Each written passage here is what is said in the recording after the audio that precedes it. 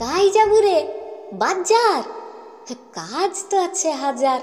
তার মধ্যে সময় পাইনে খোঁজ লিবু তো মার্কেটে। পড়াশোনার সার্টিফিকেট বিক্রি হয়টে কি রেটে? তখন দিচ্ছি ফাঁকি কখন করবাটা কি? পয়সা দিকে করতে পারনে, মাধ্যমিকটা পাস। শিশু শিক্ষায় ঢুকি যাবা, বেতন মাসকে মাস। শুন রে বাবু মোর, তুই বি পড়ার চোর। চাকরি গটে পাইতে হইনে ছাপটা তো খুব দরকারি। সার্টিফিকেট চিনি আনবু, চাকরি পাবু মাস্টারি। তখন কি আর ধরে দুই মাস্টুর ঘরে? তোর বাপ তো নাম করা লোক, গোটা থানার হেড লিডার সার্টিফিকেট দোকান করবা, নগদা নগদ নাই রে ধার। শুন রে বাবু তুই, চুপি চুপি কই। সার্টিফিকেট বিক্রি করবা।